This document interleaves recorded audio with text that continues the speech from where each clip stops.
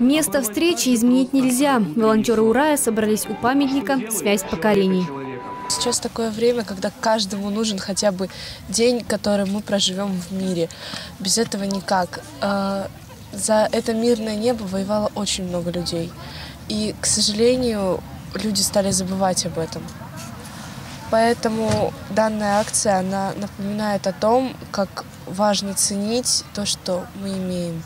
Нужно напоминать о том, что произошло, какие были страшные события, какая трагедия это была, и чтобы никто не забывал, чтобы это не повторялось больше ни, ну, вообще никогда.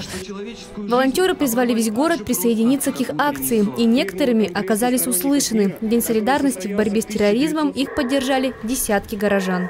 Я считаю, что эти мероприятия полезны. Почему? Потому что мы э, даем молодежи понимание того, что действительно люди воевали, люди действительно оставляли свои жизни там, на этой войне. В конце акции участники выпустили в небо шарики с голубем, символом мира.